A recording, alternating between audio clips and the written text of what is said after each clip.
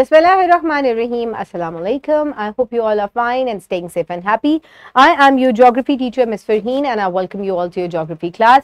My dear students, आज हमने lifestyle of people living in mountain plateaus and valleys जो है इसको डिस्कस करना है क्योंकि हमने इन तमाम लैंडफॉर्म्स को डिटेल से डिस्कस किया है तो अब यहाँ पे जो रहने वाले लोग हैं उनका क्या लाइफस्टाइल है किस तरीके से ये एक दूसरे से डिफर करते हैं हमने उसके बारे में जानना है so my dear students knowledge 2.10 compare the lifestyle of people living in mountains plateaus and valleys so क्योंकि ये तीनों ही डिफरेंट तरह के है तो इसी तरीके से यहाँ पर जो रहने वाले लोग हैं, उनका रहना सहना भी एक दूसरे से डिफरेंट है। किस तरीके से डिफरेंस है? Let's quickly move forward so अगर हम क्लाइमेट की बात करें तो क्योंकि क्लाइमेट माउंटेन्स में बींग एलिवेटेड कैसा होगा? बहुत ज़्यादा ठंडा होगा। और अगर प्लेटोज की बात करें तो यहाँ पर वेरिएबल क्लाइमेट होता है टेम्परेट टू एरिड होता है, यानी कि खुश्की भी होती है और आप, आपको यानी कि आप कह सकते हैं कि यहाँ पे आपको सीज़न सीजनल वेरिएशन जो है वो देखने को मिल सकती है। वैलीज जो है, यहाँ पर माउंटेन्स की नस्बत जनरली माइडल माइडलर जो है वो क्लाइमेट होता है as compared to the mountains ठीक है? सो डाइट अगर हम बात करें तो यहाँ के लोगों की डाइट कैसी होती है? क्योंकि यहाँ पे के लोग कोल्ड इलाकों में रहते हैं तो यूजली ये मीट और ड्राई फ्रूट्स का इनटेक करते हैं क्योंकि प्रोटीन लेने से आपको, आप ठंड से बच सकते हैं। सो so, प्लेटोज में जो पीपल रहते हैं क्योंकि ये लोग एग्रीकल्चर से वाबस्ता होते हैं तो they mainly they use grains vegetables legumes dairy meat spices bread fruits and different sorts of teas and fruits now in valleys also क्योंकि लोग जो है वो एग्रीकल्चर के शोबे से वाबस्ता होते हैं तो यहाँ पर लोगों की जो डाइट है ये it can be diverse from grains crops to meat and proteins okay okay, अगर क्लोथिंग की बात करें तो जितनी जितनी ज़्यादा ठंड होगी उतनी ज़्यादा लेयरिंग करनी पड़ेगी और लोग अपने आप को ठंड से बचाने के लिए वुलन क्लोथ्स पहनते हैं। प्लेटो जो है यहाँ पर लोग लूज कॉटन क्लोथ्स पहनते हैं क्योंकि यहाँ पर क्लाइमेट खुश्की होती है और यूजली जो है वो क्लाइमेट जो है वो गर्मी की तरफ़ होता है। ओके okay, वैलीज जो है यहाँ पर मॉडरेट क्लाइमेट होता है। गर्मियों में लोग जो है वो जरा लूज क्लोथ्स पहनते हैं और सर्दियों में ये अपने आप को ठंड से बचाने के लिए जो है वो गर्म कपड़े पहनते हैं।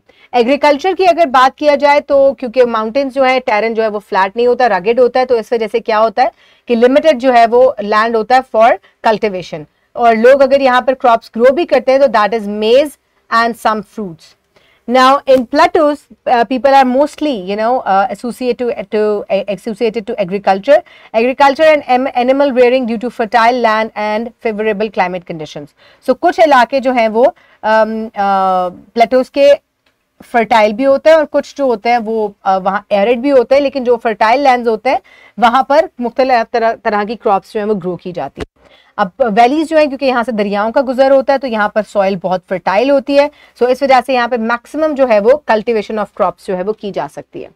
So my dear students, landforms have a big impact in shaping human behavior and lifestyle leading to different ways in life in geographical region so people जो है वो माउंटेन्स में प्लेटोज में और वैलीज um, में किस तरीके से रहते हैं हमने उसको डिस्कस किया। सो so, अगर हम हाउसिंग की इनकी बात करें तो हाउसिंग किस तरीके की है? टिपिकली वुड से बने हुए होते हैं यहाँ पे घर, क्योंकि वुड जो है वो ठंड से आपको बचाती है इंसुलेटेड होती है। और यहाँ पर जो है हाउसेस किस तरह के होते हैं? कोर्ट होते हैं और लोग खुले हवादार घर बनाते हैं गर्मी से बचाने के लिए अपने आप को। और वैलीज में डाइवर्स हाउसिंग टाइप्स हो सकती है ट्रेडिशनल मड टाइप भी हो सकती है मिट्टी से बचाने के लिए स्टोन और वुड से भी बने होते हैं। ब्रिक और मॉडर्न हाउसेज और कोर्टयार्ड टेरेस्ट और ट्राइबल हट्स भी आपको देखने को मिल सकते हैं यहाँ पर। ये देख, कहा जा सकता है कि वैली में आप किस इलाके में मौजूद हैं, कितना ज़्यादा वो मॉडर्नाइज हो चुका है, उस हिसाब से आपको वहाँ पर घर देखने को मिलेंगे। अब ट्रांसपोर्टेशन की अगर बात की जाए तो माउंटेन्स में रोड्स कम होते हैं, इस वजह से यहाँ पर सिर्फ़ जीप्स जा सकती हैं, हॉर्सेस जा सकते हैं और म्यूल्स जा सकते हैं फॉर ट्रांसपोर्टेशन प्लेटोज में क्योंकि बेटर रोड्स होती हैं तो any type of transportation can be used valleys में of transportation to relatively flat terrain. Now livelihood यहाँ पे किस तरह का होता है primarily agriculture, herding and tourism. ज़्यादातर लोग इस तरह से यहाँ पर आपको नज़र आते हैं कि टूरिज़्म से लोग जो है वो ज़्यादा वाबस्ता होंगे आप आपको टूरिस्ट नज़र आएँगे और कुछ जो है वो लोग एग्रीकल्चर से भी वाबस्ता होंगे प्लेटोज में जो है मोस्टली लोग जो है वो एग्रीकल्चर से वाबस्ता होते हैं। वैलीज में आपको लोग एग्रीकल्चर फिशिंग टूरिज़्म और कॉमन जो है वो सोर्सेज ऑफ़ इनकम जो है वो, ये है लोगों के। ना किस तरह के चैलेंजेस आपको इन मकाम पर मिलेंगे? लोगों को क्या क्या चैलेंजेस का सामना होगा?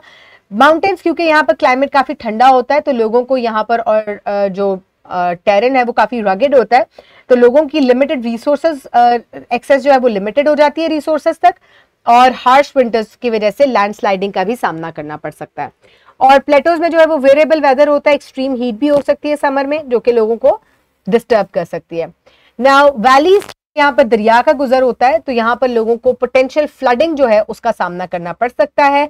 और लिमिटेड स्पेस पर फॉर एक्सपेंशन होती है, क्योंकि साइड पर आपको दोनों तरफ़ माउंटेन्स नज़र आती हैं। So dear students this was the lifestyle of different people living in different land form So for practice, you can download this worksheet from the description box below this video, or you can get it in print form by your teacher. Pause the video and quickly finish the worksheet. I hope everybody has finished the worksheet. For your homework, you will complete skill uh, 2.5 and exercise C question number 5 in your homework. For my dear students I hope you have enjoyed today's lecture जिसमें हमने आज मुख्तलिफ़ land forms mountains plateaus and valleys में रहने वाले लोगों का जो लाइफ स्टाइल है, उसको डिटेल से डिस्कस किया। I hope you have enjoyed the lecture keep everybody around you safe have a good day thank you so much and Allah Hafiz